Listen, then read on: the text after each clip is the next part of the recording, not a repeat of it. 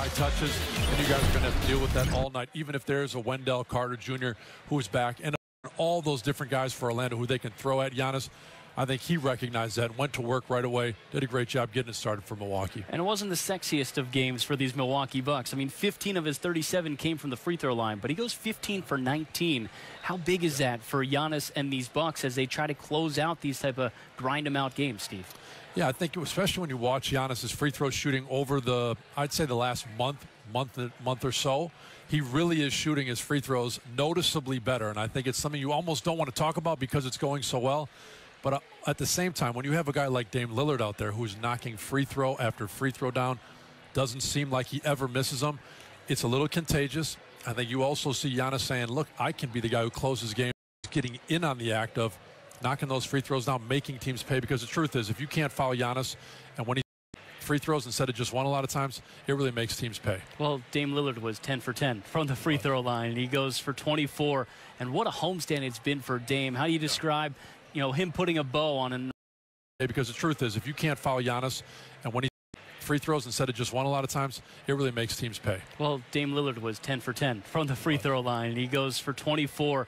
And what a homestand it's been for Dame. How do you describe, you know, him putting a bow on an amazing homestand tonight? You know, the homestand, I think, was finally really saw the Dame Lillard we expected. He came out talking about 33 points four games ago, then 39, then 40 last game, and now you see him with 24. And like we just saw what Giannis did, when you combine it, 24 for Dame, 37 for Giannis, when they're playing well at the same time, you're starting to see really what we expected this Bucks team to be. And so they sit at 21 and 7. Right now, it's a heck of a record. They're in a great spot. The homestand right before the holidays seemed to come at a good time. There were some softer opponents.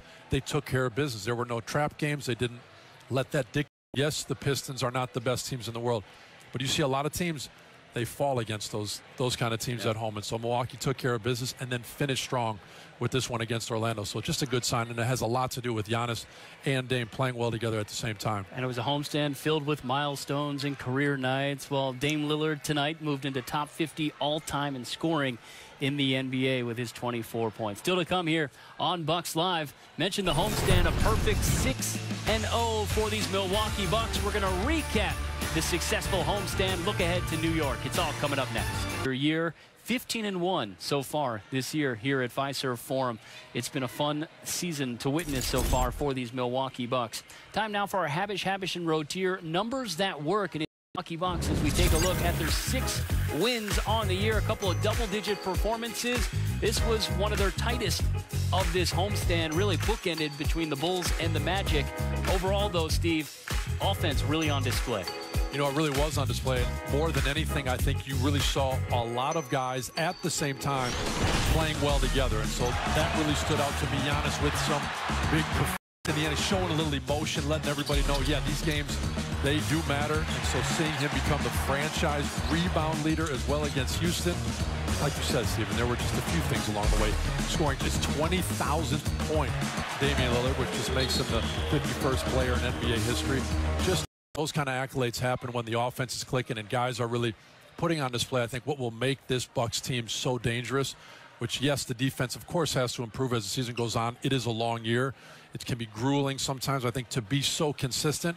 And so it's something that a lot of people mention to me as I see them in the street and they come up to me and they go, What about the defense? And I say, Look, it's a long year. I do think we have the personalities and the guys with the abilities to play the defense. The Brook Lopez, the Giannis Antetokounmpos, those guys are very willing defenders. And so to see these offensive accolades and scoring the ball, I think it stands out that these are some special offensive players you got on this team. Yeah, they had a 64-point performance, a 40, five different 30-plus point performances just on this homestand alone. So we're witnessing some great offense, and I know the defense is still working towards there, but these Bucks are still 21 and 7 right yeah. now, and they're still working through some things. That's pretty scary for the rest of the league. You know it is, and are great. And I feel like this Milwaukee team, they have the opportunity to, to be great if they are exactly who they are and they make other teams adjust. And I think who they are is an offensive team right now. They've got that firepower. And I don't think they're a terrible team defensively. I think that is going to start to creep up, getting better and better as the season goes on, and as it really matters for this defense to lock in. Scoring more points tends to work out in this game. Still to come here. Uh, no game balls today but very good win against a very good team. You know, they competed. They're long, athletic, you know, very uh, defensive minded. I thought the second half, how we came out and kind of set the tone from there. And, uh, you know, give, give them credit, really good team. But I like how we uh, responded in the second half. Uh, I, I, think you guys are 0 of 7 from three in the fourth quarter. Just shoot 30% from the field. We've talked so often about the offense kind of carrying you guys. Just what does it mean to win ugly, win it, win in a way that you guys have? Yeah, we had to get stops, obviously. Uh, but I, I love the shots that we were getting. You know, we were getting open threes, and uh, they didn't. They just didn't fall tonight. Um, but those shots that you know, when you're taking those type of high quality shots, they're going to fall. But we were able to continue to get stops. I didn't like, uh, you know, just the offensive rebounding at, at the end. Um, we could have put them away probably a little bit sooner. So you got to play, you know.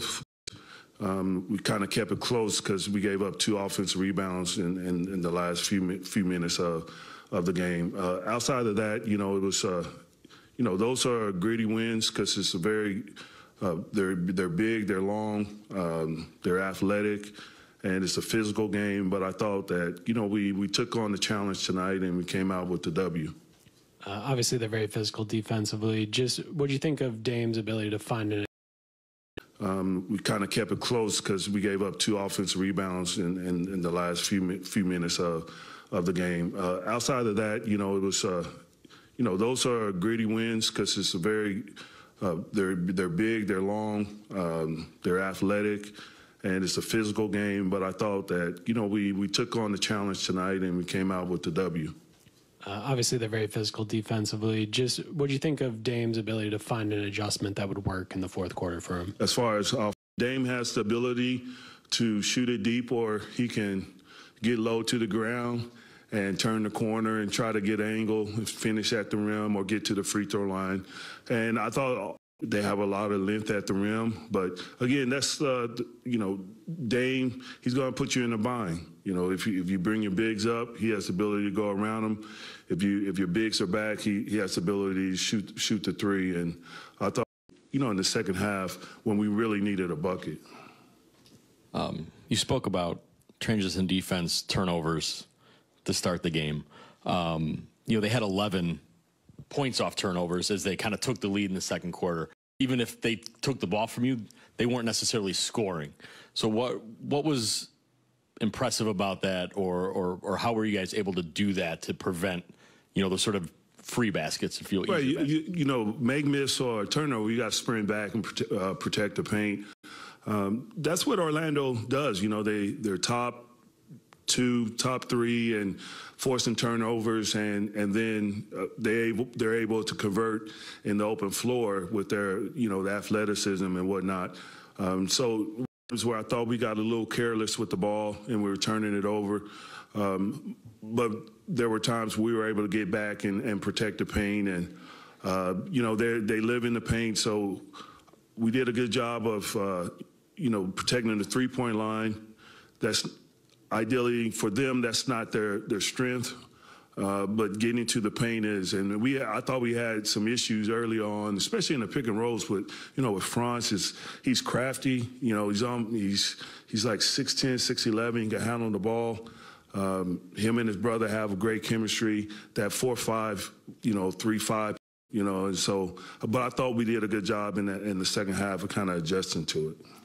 Um, you mentioned Dame at the end of the game. Giannis 13 in the first quarter, 23 in the first half. Uh, what, what sort of tone did he set, especially offensively? There? I thought Giannis really set the tone. Aggress- he was aggressive to start the game, just attacking the rim. Um, you know, when he does that, you know, those are high percentage shots. it gives our team confidence. I thought, you know, and, and then others will will follow. Um, you know, that's a very good defensive team. Uh, you uh, ideally you want to attack before they can set their defense up, and and Giannis in open floor is is as good as it gets. That's Bucks head coach Adrian Griffin still to come here on Bucks Live, headed to the Big Apple for. Đến với cây YouTube của mình, hôm nay mình sẽ review cây bút hình cây bút mà quả nho. Cây bút quả nho này của mình sẽ có một cái chùm nho màu tím và trên lá cây rất là xanh xanh tươi mơn mởn. Và trong cái chùm nho này của mình sẽ gồm có tất cả là 9 quả nho. Và thân cây bút cũng được làm à, thiết kế với cái màu tím nhạt để hợp với cái màu chùm nho của chúng ta.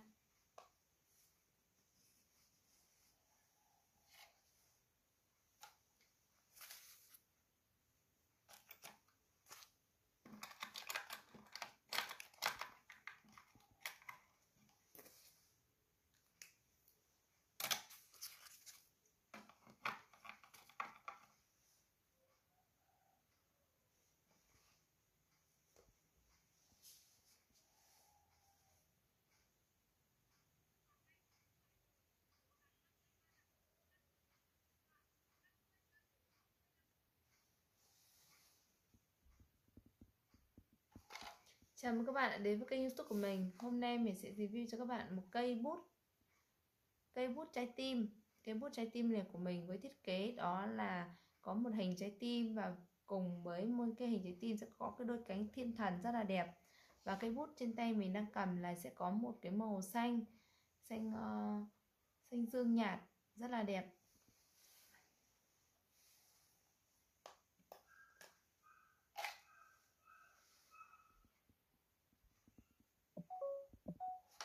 Chào mừng các bạn đã đến với kênh youtube của mình. Hôm nay mình sẽ review cho các bạn một bút bắp ngô. Bút bắp ngô của mình sẽ có một cái hình trang trí ở trên cái đầu bút rất là đẹp, Đó là hình bắp ngô. Bắp ngô như thế này. Và trên cái thân bút sẽ có một cái hình bắp ngô màu vàng ở đây. Chú bắp ngô này của mình sẽ đeo cái kính dâm rất là xịn Xịn sò.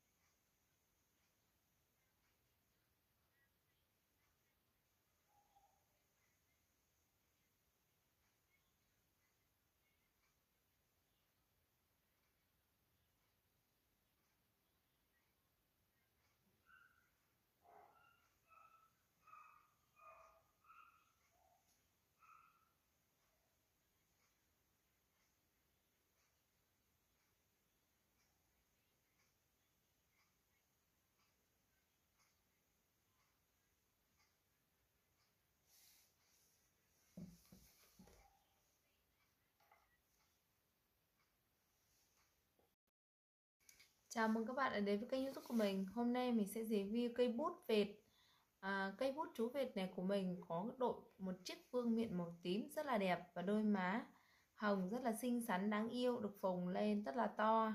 Và cây bút này của mình à, đang cầm đây Sẽ có là một màu vàng đi kèm với cái màu của chú vệt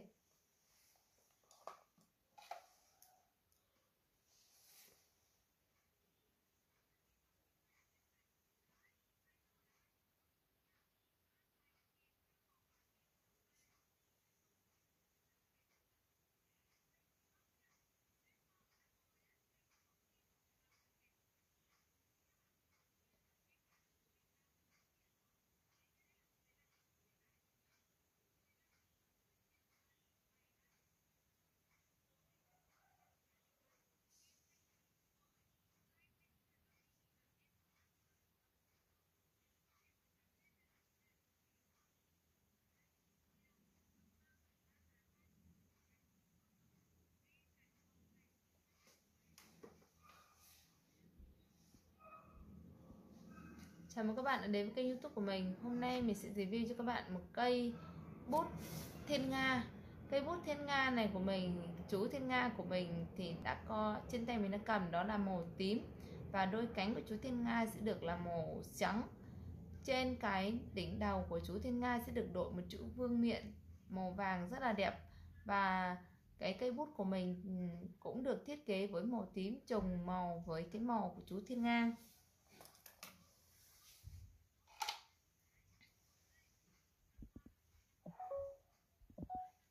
Chào mừng các bạn đã đến với kênh youtube của mình. Hôm nay mình sẽ review cây bút hoa hồng.